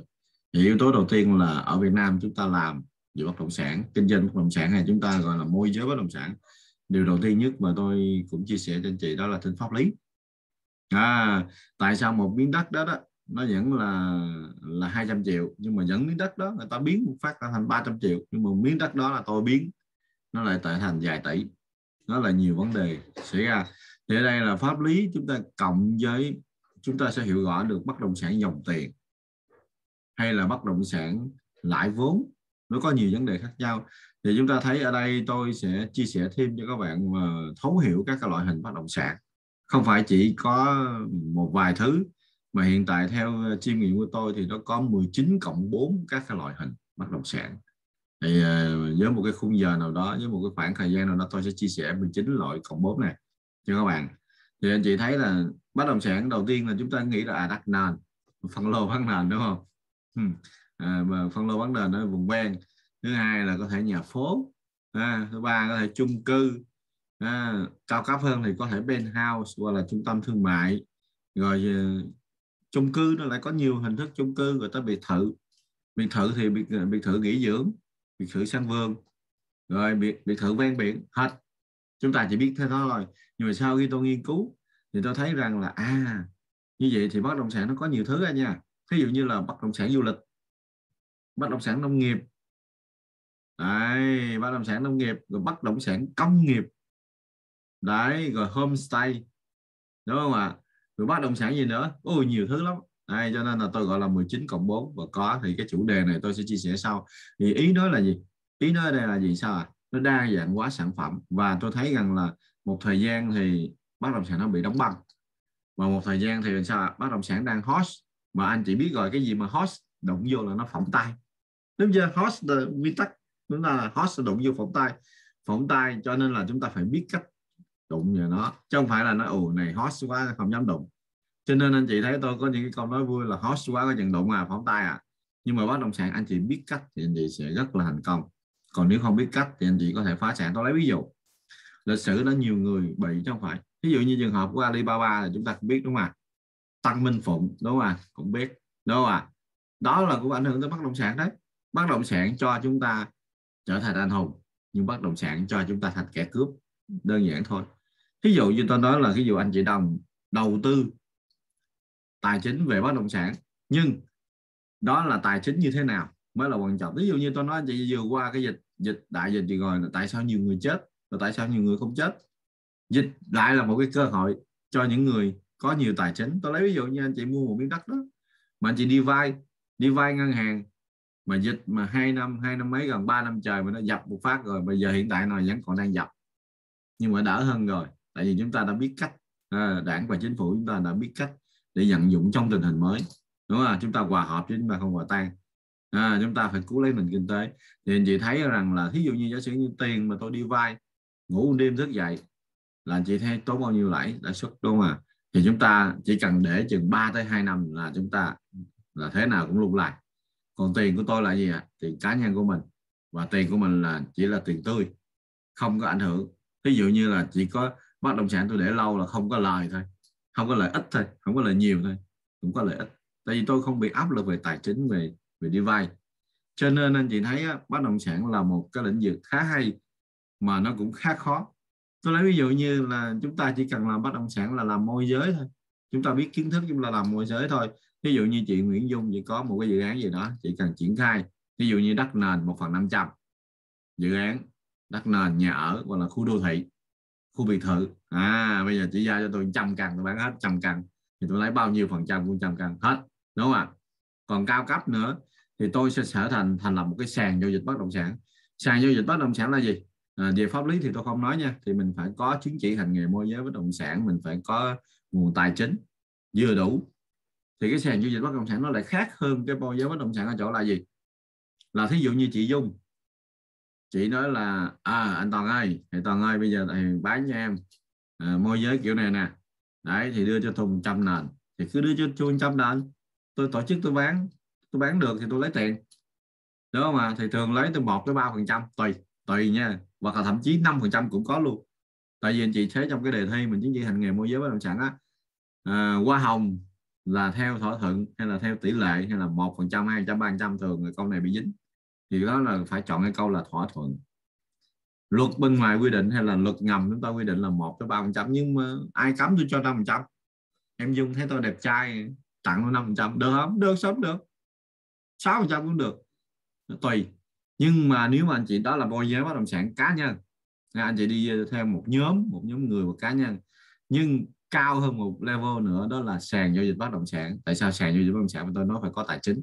Tôi lấy ví dụ hồi nãy giờ nói là giao cho tôi trăm trăm nền, mà bây giờ bán chừng nào tôi bán từ đây tới tết cũng được, ngày mai tôi bán xong cũng được, không có quan trọng. Đúng không? Nhưng mà tôi nói, em dung, bây giờ anh sẽ lấy 100 nền của em. À với điều kiện là anh sẽ bán một tháng, anh bán ra hàng cho em. À đó là một điều kiện. Điều kiện thứ hai là em, anh sẽ đặt cọc em trước 50 phần trăm. Ví dụ một nền là một tỷ, anh sẽ đặt cho em trước 500 triệu, nhân lên trăm nền là nhiêu tiền anh đặt cọc cái gác chuyển khoản thì cái tỷ lệ bán, cái tỷ lệ hoa hồng nó sẽ khác hơn. Thậm chí nó có tới 18 đến 20 phần trăm là do hai bên deal với nhau. Anh chị hiểu tôi nói không? Cho nên khi mà anh chị bán, anh chị mà tham gia vào thị trường bất động sản ở level nào thì nó lại là một cái hoàn cảnh khác. Ví dụ như tôi có tiền, tôi có fix thời gian, bây giờ một tháng mà anh bán không được là anh ghim hàng, anh trả tiền luôn, em 50 phần trăm còn lại nữa. Như như là anh ôm hàng luôn thì tôi là mạnh về tài chính tôi là có đội ngũ sale bán hàng cho nên là tôi tôi cam kết với em dung là một tháng nhưng thực chất tôi đã nhắm rồi. Hai tuần là tôi bán được. Anh chị thấy có một số dự án anh em bán không bán một hai tuần là xong. Thậm chí hả một ngày chủ nhật tôi đã từng tư vấn cho một doanh nghiệp uh, tạm thời giấu tên nha. Một ngày chủ nhật tổ chức ở hội nghị giống như tiệc cưới. Một ngày bán ngàn nền. Anh chị thấy ghê không? Tiền nó đem lại chở sắt xe như núi. Hoặc là chuyển khoản hoặc là trả tiền mặt. Người dân bất động sản khoái trả tiền mặt. Đấy, tổ chức một ngày hội. Bởi vì anh chị thấy là bất động sản á, thường là tổ chức thứ bảy chủ nhật mà. Như là như là ngày đám cưới. Đó là, là là sàn giao dịch bất động sản. Còn level cao hơn sàn giao dịch bất động sản là gì? Là chủ đầu tư. Mà chủ đầu tư nó là chia ra nhiều loại. Tôi lấy ví dụ như là tôi là chuyên đi đi xin dự án tìm dự án tìm đất. Sau đó tôi sửa sửa sửa sửa lại tôi làm giấy phép xong tôi có được giấy phép. Triển khai dự án xong rồi tôi bán lại cho anh Tony Hoàng đúng không? Thì thay vì tôi bán lẻ nhưng mà tôi bán sỉ. Anh Hoàng ơi các em có dự án ngàn hecta đất á. Em làm xong với tờ đó. Bây giờ anh mua nhiêu tiền? Sập bạc cho nên những cái chủ tịch hay là những tổng giám đốc của những công ty đó thường anh chị sẽ không biết người ta. Tại người ta có đó, đó ở ngoài đường tờ giao hàng bán giống như mấy công ty bất động sản Alibaba hay là mấy thằng đất xanh gì đâu. Mà người ta ngầm ngầm người ta làm bất động sản đó là mới thuộc dạng đại ca của bất động sản. Anh chị hiểu tôi nói không? Không phải là người ta đứng ở một dự án mà người ta im im người ta bán mà người ta gọi là f f không luôn bán cho f không. Ta không cần biết tên. Người ta không cần biết tên công ty. Có những người người ta làm kinh doanh bất động sản hay vậy đó. Giống như tôi là tôi không có bia cái việc đào tạo bách pha mà tôi chỉ bia thái lâm toàn thôi tiến sĩ thái lâm toàn thôi. Cho nên nhiều khi anh hoàng anh Tony Hoàng anh chỉ biết anh Hoa Hải Đường. Là chỉ biết là à, ông này ông bán làm bất động sản nhưng ông không bao giờ bán. Ông không có làm từ từ bướm bán mà, mà ông bán là ngàn hecta mà và anh sẽ bán lại cho anh qua Hải Đường anh bán lại cho Tony Hoàng anh bán lại cho Trung Tiền anh Trung Tiền ơi em có ngàn đất nền ở Bình Phước Bình Dương nè bây giờ anh mua sĩ thì em sẽ để cho anh giá khác. Đó thì tôi phân tích như vậy cho anh chị thấy á, là lĩnh vực bất động sản khá hay. Nếu anh chị nghiên cứu chứ không phải gì bất động sản anh chị cứ nghĩ vấn đề là em giới thiệu nền này 500 triệu em bán 600 em lại trăm bỏ túi đó là em đang kinh doanh bất động sản. Không phải. Cái đó chỉ là một phần nhỏ trong một bức tranh của bất động sản rồi tôi nói cho anh chị nghe, đỉnh cao của bất động sản nữa, chính là bất động sản công nghiệp. Anh chị thấy Bình Dương nhiều rồi không? Đấy, bất động sản ờ, công nghiệp là anh chị thấy là chúng ta có một cái đám rừng cao su, chúng ta phá ra, chúng ta xin chính sách của nhà nước. Sau đó chúng ta làm khu công nghiệp. Khu công nghiệp thì có dạng, nhiều dạng khu công nghiệp. Có thể là anh xây dựng cơ sở hạ tầng, sau đó anh cho thuê lại. Ví dụ như bây giờ bạn dung là công ty nước ngoài, bây giờ bạn quy hoạch là bạn làm khu công nghiệp thì bạn phải vô đúng khu công nghiệp đó của nhà nước quy hoạch, của tỉnh đó quy hoạch. Thì anh chị chỉ là được gì à? được phép thuê thôi. Ví dụ như một mét vuông là mấy đô? 5 đô 8 đô 4 đô, tùy vào thị trường. Thì đó cũng gọi là bất động sản công nghiệp. Ngược lại, có thể có những bất động sản công nghiệp là sao à? Bán luôn quyền sử dụng 50 năm. Nhưng mà 50 năm nữa, nó sẽ ra là triển khai lại. Và thì nó cũng có giá đâu đó cộng trừ lên. Thì nhà nước quản lý bất động sản bằng cách đó để người ta thu ngân sách đó, cho nên anh chị thấy là có những người bán làm bất động sản mà người ta không bao giờ bán một cái miếng đất nào hết. Tại vì người ta bán lần mấy ngàn hecta đất mà. Và người ta làm việc với các cái khu công nghiệp. Rồi, thí dụ như tôi cũng là bất động sản, nhưng mà bất động sản về nông nghiệp công nghệ cao hoặc là solar farm. Ở trên tôi làm năng lượng mặt trời, ở dưới là tôi làm gì? Tôi làm nông nghiệp, tôi kết hợp du lịch. Nhưng mà sâu xa, sau đó thì sao 5 năm 10 năm nữa thì cái đất của tôi trở thành bất động sản bất động sản công nghiệp hoặc là bất động sản du lịch tùy tùy vào cái chiến lược kinh doanh thì ở đây sẵn dịp mà chúng ta chia sẻ về sách là bất động sản căn bản, cho nên chúng ta đọc sách, chúng ta sẽ có nhiều cái chiêm nghiệm. Mà sách đây là sách nước ngoài, thì chúng ta chiêm nghiệm ở Việt Nam về bất động sản như thế nào? Ha cho nên tôi thấy là anh chị thấy là ví dụ như là nói về bất động sản thì chúng ta phải hiểu được cái dịch vụ bất động sản. Nó sẽ có hai cái nhóm, đó là kinh doanh bất động sản và kinh doanh dịch vụ bất động sản. Tôi lấy ví dụ. Bây giờ nói về dịch vụ bất động sản nha nãy giờ nói bất động sản không rồi bây giờ nói dịch vụ bất động sản. Dịch vụ bất động sản là sao? Bây giờ anh Tony Hoàng anh có ngàn mét vuông ngay ngã tư Bảy Hiền. Anh xây dựng lên ông ông có được ngàn phòng ngàn ngàn cái dân phòng. Thì anh, anh Hoàng là anh đại gia mà anh nói giờ xây lên ngàn phòng cho hồi là biến quản lý quá. Đúng không? Anh có tiền nhiều tiền thường đại gia là làm biến lắm. Ông nói thôi anh Toàn ơi anh lấy lại một ngàn cái văn phòng này của em đi. Em cho anh thuê lại tháng nhiêu tiền với một số tiền. À, rồi anh ký hợp đồng nha em cho anh thuê trong vòng 10 năm để anh triển khai. Thì ông Toàn nó là ông nói, à, ok em sẽ ký anh nhưng mà sao à? Em có nhiều tiền. Em chỉ có trí tuệ thôi em trả anh hàng tháng được không?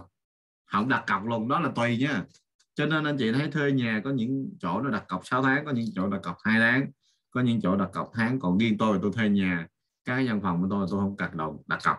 Lý do uy tín của mình cao. Thế thôi à mình nói à, em không đặt cọc nha nhưng mà em trả theo theo tháng. Rồi ok. Thì ví dụ đó là gọi là dịch vụ. Tôi bắt đầu tôi, tôi thuê của anh Tony Hoàng một ngàn căn đó. Sau đó tôi cho thuê lại và tôi quản lý cái cái khu vực một ngàn căn đó. Thì nó gọi là thuê và cho thuê. Nó cũng là bất động sản nhưng mà đó là dịch vụ bất động sản thuê và cho thuê. Tôi không có tài sản bất động sản đó. Tài sản đó của anh Tony Hoàng nhưng mà sao tôi thuê lại và tôi cho? Anh Trung Thiện thuê tôi cho anh Đoàn Thành Lâm thuê tôi cho anh quai Đường thuê tôi cho anh Phan Nhân Dĩ thuê tôi cho bạn Nguyễn Dung thuê và tôi lấy dòng tiền. Đấy, nó gọi là bất động sản dòng tiền. Đấy, cho nên là chị thấy là ừ, có một số cái là gì? Dùng bất động sản, anh chị tu sửa lên. Đó mà xây dựng nội thất lên, và anh chị cho thuê với một giá nào đó, vân vân. Thì nó lại là một cái lĩnh vực khác nữa. Thì nó tóm lại là bất động sản, nó muôn vàng hình vẽ, chứ không phải là chúng ta chỉ tưởng tượng còn anh chị có một cái dự án rất là đặc biệt nữa là dự án miền đất tương lai. Miền đất tương lai anh chị hiểu không? Họ nói luôn thì nó là nghĩa trang, bất động sản nghĩa trang có chứ. Bản tôi làm đầy, nhưng mà riêng tôi là tôi không làm cái đó. Bạn tôi rủ tôi làm nó không làm. Anh chị chưa biết đâu, nghĩa trang nó có nhiều loại nghĩa trang nha. Nghĩa trang mà nó làm nghĩa trang chung cư anh anh chị có nghe dự án đó không? Nghĩa trang chung cư đấy, có nghĩa là gì? Hay gì? Ở đây Vũng Tàu có mà. Trời, tôi dự án nó tôi đi thăm nhiều lắm. Nghĩa là gì? Nó giống như chung cư thôi.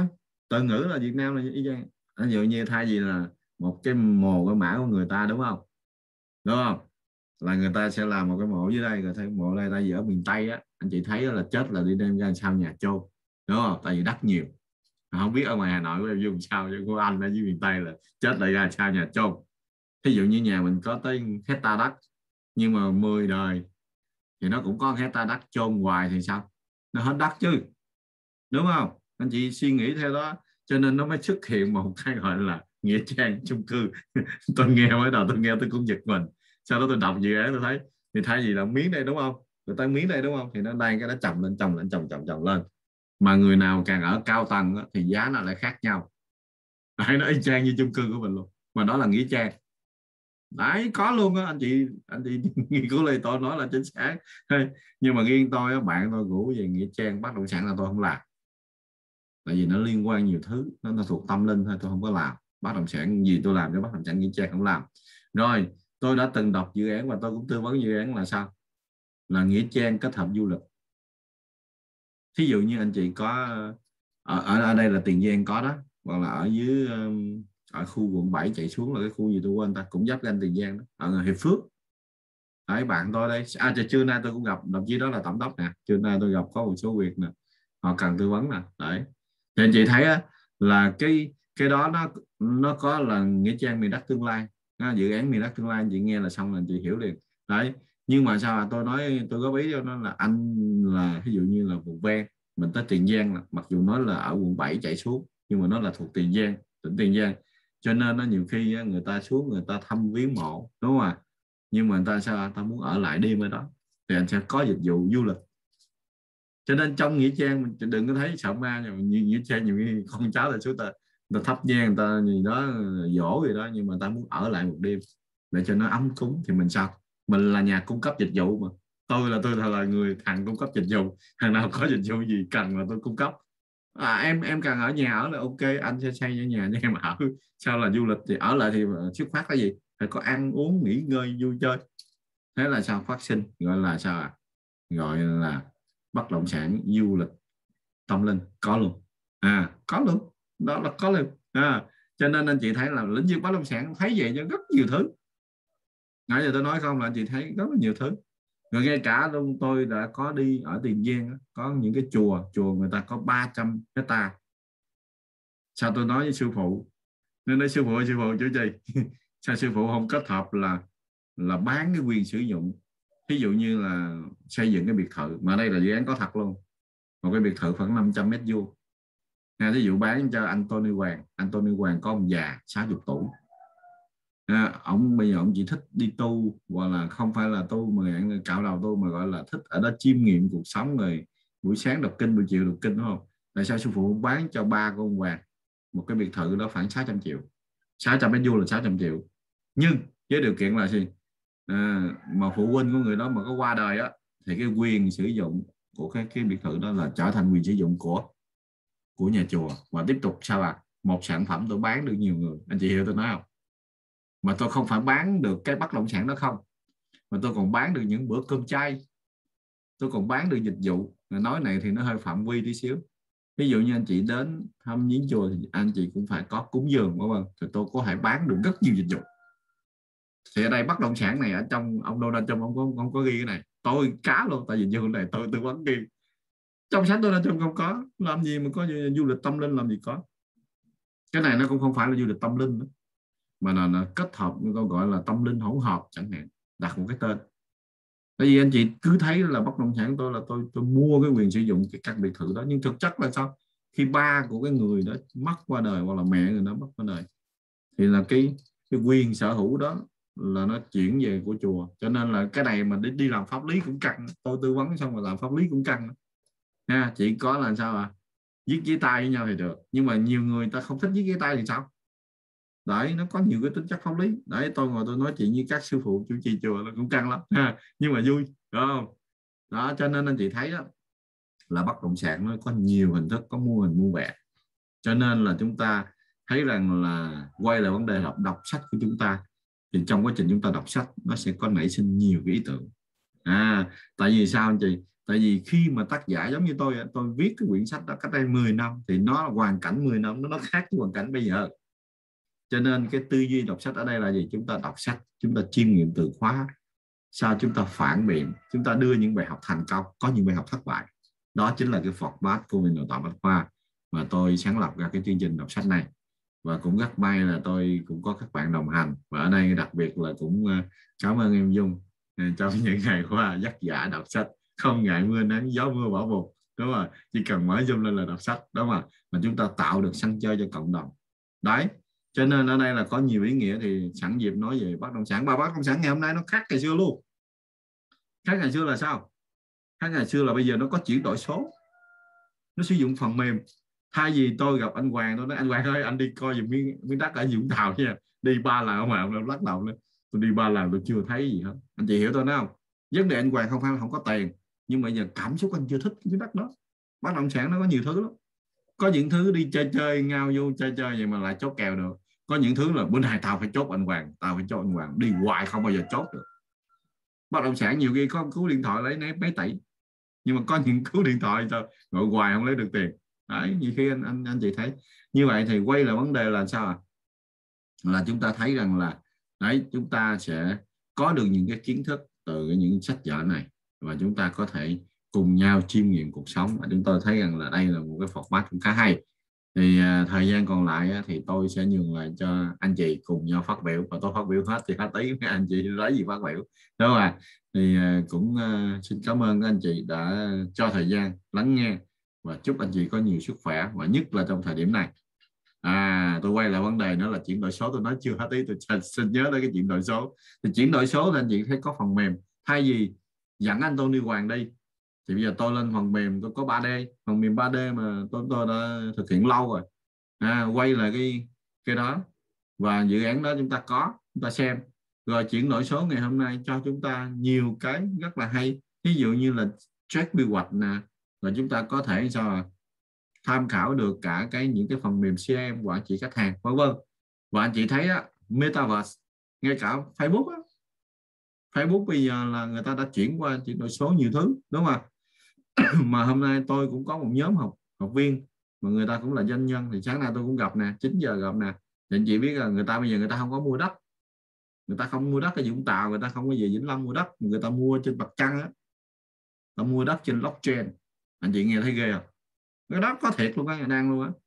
Bỏ ra chừng vài triệu đô mua trên mặt trăng chơi mua trên mây chơi gọi là bán đất trên mây tôi, tôi, tôi gọi vui. Có nghĩa là điện toán đám mây điện toán đám mây là một cái thuật ngữ mà chúng ta đưa dữ liệu chuyển đổi số lên trên điện toán đám mây. Nhưng mà qua nói tay ông toàn ông toàn là bán đất trên mây. Anh chị nghe nó nghe nó phản cảm. Nó bán toàn cái gì trên mây, người ta đâu thấy đâu. Nhưng mà thực tế là nó bán có lấy triệu đô triệu đô. Ví dụ như là Mezerbus chúng ta thấy nó vừa gọi tỷ phú đó. bán rất nhiều thứ trên mây. Anh chị hiểu ra nào cho nên ngày hôm nay chuyển đổi số nữa, mà nó kết hợp bất động sản nữa thì nó có nhiều thứ bùng nổ.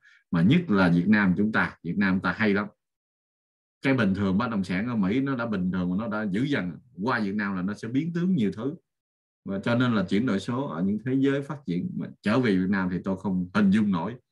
À, 5 năm nữa 10 năm nữa tầm nhìn 10 năm nữa thì cái chuyển đổi số trong lĩnh vực bất động sản này tôi nghĩ là cực kỳ khủng hoảng. Rất nhiều thứ trên đó và có rất nhiều tỷ đô la trong đó là triệu đô la. Cho nên à, vấn đề ở đây là chúng ta là gì? Chúng ta đầu tiên nhất tôi theo quan điểm cá nhân của tôi nha đầu tiên quan điểm của tôi là gì? Anh chị làm cái gì là anh chị phải học. Cái đó cho nền tảng nó vững chắc. Nếu chúng ta không có thời gian mà học giỏi được thì chăng nữa thì chúng ta ít nhất chúng ta phải hiểu được blockchain là gì rồi ứng dụng metaverse là gì. Đó, rồi mua bán đất ở trên điện toán đám mây là cái gì. Mà tôi là thường tôi nói vui là mua bán mua mua bán trên mây mà phải có chữ điện toán đám mây đó nha thì nó mới đúng nghĩa. Còn mua bán trên mây là mua bán ảo. Nhưng mà thực tế là hiện tại nó là không có ảo nha đây thì chúng ta phải hiểu rõ được tại sao vận hành của blockchain rồi tại sao nó phải dùng block test rồi nó làm sao nó ứng dụng blockchain trong lĩnh vực bất động sản mới là vấn đề của big data. Rồi AI trí tuệ nhân tạo. Trí tuệ nhân tạo nó giống như một cái cái thẩm định giá. Hoặc là là uh, chúng ta sẽ sắp tới nó sẽ có may may notary may notary ra là giống như là một cái phòng công chứng online. Thay vì anh chị lên bình dương anh chị mua đất đúng không? Anh chị phải có nhiều nơi nó khó lắm nha. Bây giờ tôi ở thành phố mà tôi lên thủ đức ờ, tôi lên bình dương tôi mua. À, thì tôi công chứng ở thành phố được không? Theo nguyên tắc nó được. Nhưng mà nhiều chỗ nó nói không anh mua bình dương anh chỉ lên phòng công chứng bình dương em mới chịu. Nó đau đầu vậy đó. Tại vì địa phương anh chị có coi phim tây du ký đúng không? Cái thằng thổ địa đó nó bắt vậy thì mình cũng phải làm vậy chứ. Tại vì qua xong là phải lụy đò bây giờ anh không chịu những cái thủ tục đó thì sao ạ? À? hành là chính mà thì đó dự ký không dự ký thì giao dịch bất động sản chúng ta không thành công. Ví dụ tôi lên bình phước chẳng hạn nó phải anh anh qua phòng công chứng ở số máy luôn nó chỉ luôn chỉ điểm luôn giống như vô bệnh viện. Anh chị phải qua phòng mạch phòng khám đó, đó. Rồi anh chị khám đi anh chị lấy kết quả để đưa tôi. Xong tôi sao? Tôi đọc đọc số liệu tôi mới hiểu. Nếu sao em không qua được phòng khám số 3 mà qua phòng khám số 1 sếp? Tại vì sao? Tại vì sao à? Tại vì tao quen cái máy của phòng số 1 tao đọc cái được chứ phòng số 3 tao chưa có học. Ví dụ vậy đó là giải thích tào lao nhưng mà thực tế nó vậy thực tế nó vậy máy nào nó cũng đọc được nhưng mà thực tế tại vì sao? Tại vì tôi có kết nối với số 1 rồi số 1 nó chia phần trăm nhiều cho nên là phải đẩy vô số 1 cho tôi quy vào số 3 chị hiểu tôi đó không? Đấy nơi hơi phản cảm nhưng mà rõ ràng là thực tế nó vậy. Cho nên tôi có một câu nói vui là sao? Qua sông là phải lụy đò nó mà biết là phải qua sông là phải lụy đò cho chúng ta thấy là có nhiều thứ. Cho nên uh, buổi đọc sách hôm nay tôi thấy khá hay bởi vì bất động sản. Cho nên là em dùng với giọng đọc cũng khá hay cho nên là sau nhớ phát huy nhiều. Anh toàn đỡ hồi đọc rồi cảm ơn các bạn có nhiều sức khỏe và à, chúc các bạn một ngày mới thành công. Xin cảm ơn các bạn đã lắng nghe. Xin chào cảm ơn ạ. Xin à, cảm ơn tiến sĩ Thái Long Toàn cũng đã cho mọi người rất là nhiều những ý tưởng về bất động sản. Thì về nói về bất động sản tâm linh ý, thì vừa rồi là bên khóa tiền của Vũ Ân Dung tham gia vì là cũng có tổ chức chương trình thì uh, có họp bảo đăng. Thì họ cũng ở ngay chỗ tiền giang thôi nên họ cũng tổ chức cái chương trình đó là cho mọi người du lịch. Lại à, được à, cúng bái rồi thì à, làm cái chương trình thả hoa đăng rồi thì mọi người được đi du lịch ở cái khu vực đó. Rất là nhiều những cái để mà họ có được những cái nguồn thu. Rồi thì à, về mua đất trên sao hỏa thì như anh tiến sĩ Thái Lâm Toàn thì bản thân anh Dung biết cách đây hai năm.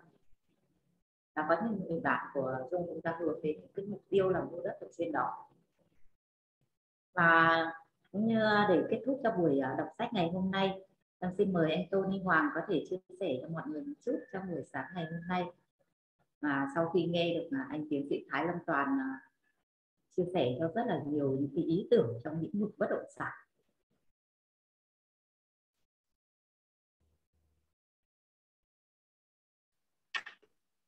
Hi, xin chào uh, tất cả phòng room. Anh bảy giờ rồi, không sao. Ờ. Nhưng mà về bất động sản nữa mà rất là nhiều cái cái lĩnh vực nói là biết đấy. Thứ nhất là bây giờ là phải xác định à, xác định là cái bảng là là xác định là nhà đầu tư bất động sản. Thì tất nhiên đầu tư thì phải có nguồn vốn rồi nguồn vốn thì ờ, ít hay nhiều rồi nhu cầu như thế nào? À, à, có tài chính rồi tài chính là bao nhiêu phần trăm? Hoặc là có khoảng bao nhiêu một tỷ hay 10 tỷ hay nhiều hơn hay bao nhiêu tỷ? Tức là mình cũng là là là ừ, mình cũng chính chính hiển cũng đã từng là là đã và đang là là, là cái, cái tư vấn tư vấn đầu tư. Rồi phải để, phải làm việc để để tìm hiểu hoặc là để, để khách hàng yêu cầu khách hàng ra sao. Rồi mình với với với, với hiểu được ý khách hàng rồi mình mới tư vấn cho khách hàng được rồi nó phù hợp. Thì thực sự tự như này này nhận thấy thực sự là gần đây thì về vấn đề đầu tư à, tức là vấn đề mà mà chứng chỉ bất động sản này thì, thì chính phủ là, là cho bắt buộc là ngành bất động sản là phải có cái chứng chỉ để đầu uh, chứng chỉ bất động sản thì mới mới là là tư vấn viên. À, thì cái đó nó đưa vào hướng chuyên nghiệp. Để rằng để rằng cái cái ngành bất động sản nó được kiểm soát nó chuyên nghiệp hơn được sự quản lý của nhà nước hơn thì nó sẽ vào khuôn khổ. Thì một phần là uh, một số các cái luật như uh, Việt Nam mình cũng là sau này mới năm chín mấy chín ba mới mới là vào bắt đầu hai lẻ ba bắt đầu luật bất động sản. Rồi nhưng sau này là cập rồi rồi bổ sung thêm các cái luật về bất động sản. Còn rất rất nhiều các yếu tố như trước kê khai 99 hay là cái gì rất là nhiều. Nên là để mà hiểu được bất động sản rồi rồi, rồi làm được ừ, lĩnh vực bất động sản thì nó cũng rất nhiều yếu tố. Rồi muốn đầu tư bất động sản thì phải có một thực sự một một đơn vị hoặc một cá nhân nào văn phòng tư vấn bất động sản nào có đủ năng lực thì trong trường mình phải hiểu hiểu thì hiểu về pháp lý hay là uh, có thể ví dụ như anh muốn đầu tư cái tài sản đó là người nó, nó nhiều nhưng mà nguồn tiền mình ít thì, thì như thế nào tư vấn để đầu tư như thế nào? Còn xoay vay mượn thêm nguồn tiền dòng tiền tài chính của uh, như thế nào nữa cho nó hợp lý? Uh, thì nó rất nhiều yếu tố thì cũng um, muốn ý định muốn hiển cũng muốn là um, thực sự có một hậu thuẫn hoặc là hợp tác để có một văn phòng để có một công ty thực sự chuyên nghiệp thực sự là uh, tư vấn um, tư vấn đầu tư cho các khách hàng cho các đối tác. Um,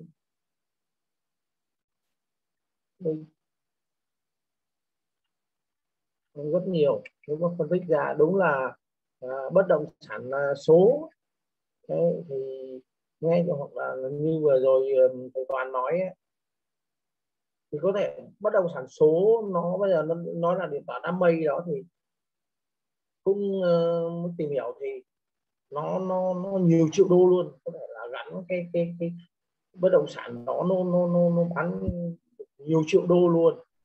Nó nó nhiều lắm nhưng mà để mà cập nhật cái đó thì nó phải có thứ nhất là đủ năng lực hoặc khách hàng phải như thế nào nữa là, là cái cái đó thì nó cũng là một tương lai gần đấy chứ không không xa đâu đó. thì um, để nó ổn định uh, một số yếu tố một số cái thời điểm thì cũng hy vọng rằng là uh, bên bên chỗ thầy toàn với với với với một số anh em thì sẽ hợp tác để mà mà đưa một cái, cái văn phòng hoặc công ty để tư vấn coi như là nó chuyên nghiệp thực sự chuyên nghiệp. Để vừa vừa mình mình cũng là cơ hội đầu tư luôn và cũng khách hàng nhà đầu tư kết nối các nhà đầu tư. Ừ. Rồi nhu cầu vào thị trường khách hàng này gặp nhau. Phân tích ra thì nó nó rất rất mở rộng. Rất rất nhiều nhưng mà nó phải phụ thuộc vào vào vào năng lực rồi nhu cầu khách hàng. Ừ. rồi à, xin góp ý như vậy. À, cũng hơn bảy giờ rồi vâng à, em xin em xin cảm ơn sự à, chia sẻ của anh Tony Hoàng nói chung là trong à, cái quá trình chúng ta đọc sách là chúng ta chia sẻ được những cái kinh nghiệm của mình thì chúng ta cũng sẽ thấy là mình có những cái khúc mắc ở đâu. Thì mình sẽ có những cái hướng giải quyết nó rất dễ và có thể là những cái anh chị trong phòng Zoom sẽ có cho mình những cái ý tưởng. Và cũng như à, hôm nay thì cũng hơn 7 giờ rồi, thì em xin à, kết thúc buổi đọc sách ngày hôm nay tại đây. Và hẹn gặp lại tất cả các anh chị vào 5 giờ 30 sáng ngày mai. Chúng ta sẽ quay trở lại với buổi đọc sách. Và lời cuối cho buổi đọc sách ngày hôm nay em xin gửi lời cảm ơn đến tiến sĩ Thái Lâm Toàn. Cảm ơn tất cả các anh chị sáng nay đã chia sẻ. Cảm ơn các anh chị đã tham gia phòng Zoom và chúc toàn thể quý anh chị chúng ta một ngày mới tràn đầy năng lượng nhiều niềm vui nhiệt huyết. Và xây dựng cho mình những mục tiêu để hướng tới một tương lai giàu có thành công và thịnh vượng. Xin cảm ơn và hẹn gặp lại. Xin kết thúc dung